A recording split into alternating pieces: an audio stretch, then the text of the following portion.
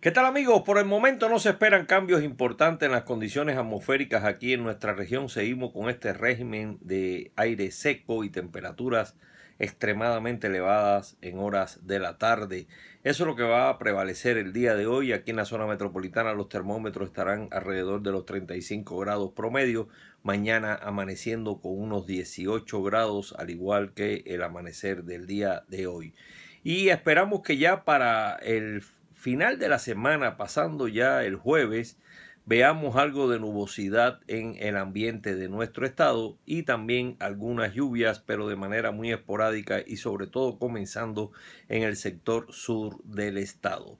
Todavía no son lluvias de temporal, el temporal lo esperamos que inicie ya un poco más adelante, alrededor del día 10 de junio, ya se van a sistematizar un poco más las lluvias. En general esas son las condiciones, pero para que siempre esté informado, usted suscríbase a este mi canal de YouTube.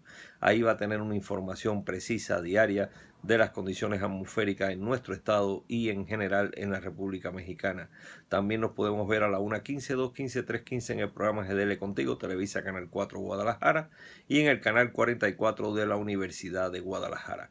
Y además, para los amigos agricultores, Bajen la aplicación Agromet. Es una aplicación totalmente gratuita. Usted va a tener el tiempo y el clima en sus manos. Siempre va a tener una información precisa de qué hacer con sus cosechas de acuerdo con las condiciones atmosféricas que existan en ese momento.